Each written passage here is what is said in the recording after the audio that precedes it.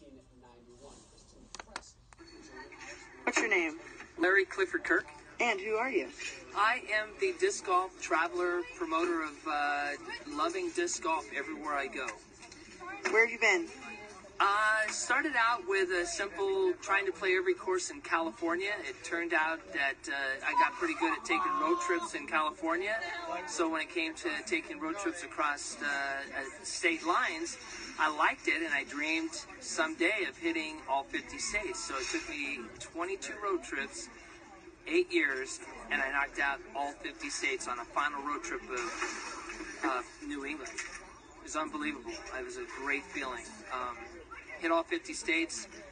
A lot of dedication to just driving and playing disc golf. I could play disc golf all day, morning to night, but uh, And you're a Guinness World Record holder. I got the Guinness World Record when I hit 50 states in 50 days. It was lucky for me.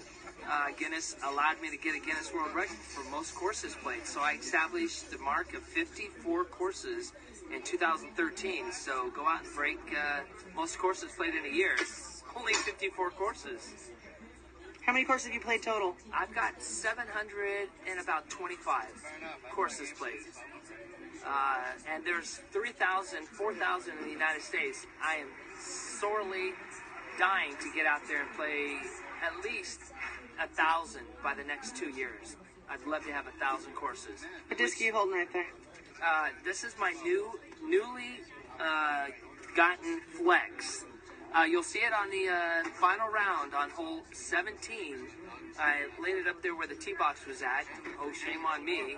Uh, I hope it shows uh, for the coverage of the Las Vegas uh, tournament on hole 17 in the final round. I laid it up there. I think it's in clear view. It was awesome meeting you, Larry, and playing disc golf with you yesterday. It was an absolute privilege. Damn. Thank you.